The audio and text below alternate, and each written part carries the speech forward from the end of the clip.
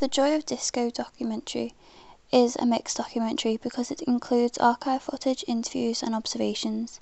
The themes throughout the documentary were culture, media, music, and dance. The narrative structure is single stranded as it's all about the discos. It is non linear because it did not happen, or the events didn't happen in order. It's a closed narrative because it concludes the topic and it and all questions are answered.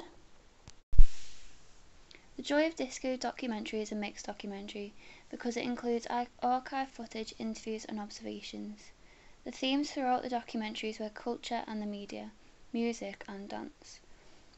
The narrative structure is single stranded because it was not only about one topic, which was discos, it is non linear because the events do not happen in order, and it's a um, closed narrative because it tells us about all about discos. Camera work.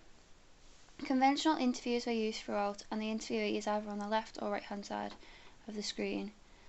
There's a close up of feet when everyone's dancing, shows how close people get. Medium close ups of the gay pride flags to show it was becoming accepted and promoted through disco.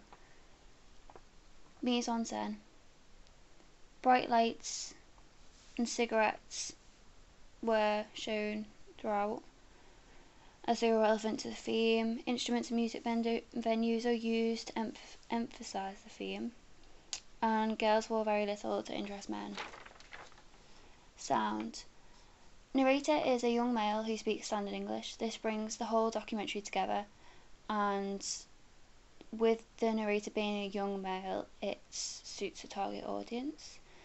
There's upbeat music to emphasise the footage showing um, editing quick cuts to keep the up keep up with the tempo of the music and the footage.